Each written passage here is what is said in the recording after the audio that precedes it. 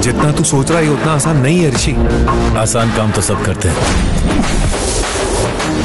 ऋषि को टेढ़े काम करने में ही मज़ा आता है। टीवी पर पहली बार महर्षि 16 जून रविवार रात आठ बजे सिर्फ़ गोल्ड माइंस पर।